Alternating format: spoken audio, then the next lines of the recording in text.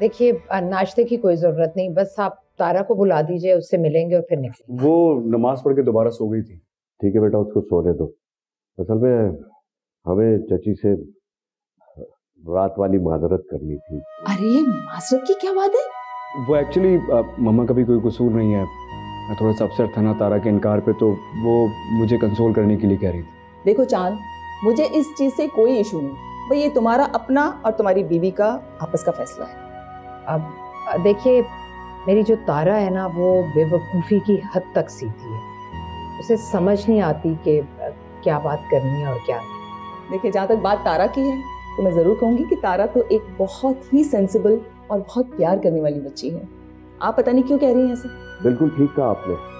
मेरी बच्ची लोगों के साथ घुल मिल के रहना चाहती है और उसकी माँ थोड़ी सी कॉन्शियस है। मेरे ख्याल सारी माएँ ऐसे ही सोचती हैं। हाँ वैसे एक बात मैं क्लियर कर दूँ। कि हमारे घर में फैसले बच्चों पर मुसलित नहीं किए जाते। अगर तारा और हमारा चाँद अलहदा रहना चाहें तो किसी को कोई एतराज़ नहीं होगा।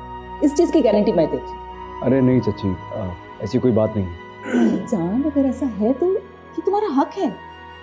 लेकिन शर्त यह है कि ये फैसला तुम दोनों का होना चाहिए किसी और का नहीं। जी चची। यकीन जानिए मुझे बड़ी खुशी हो रही है कि मेरी बेटी नॉर्मल और सुलझे हुए लोगों के साथ है। भाई आप बिल्कुल तसली रखें। तारा जो है वो अपनों में है। शुक्रिया बहुत बहुत। अच्छा बेटा इजाज़त है। ठीक है बेटा? खुदा हाफिज़। खुदा चलिए।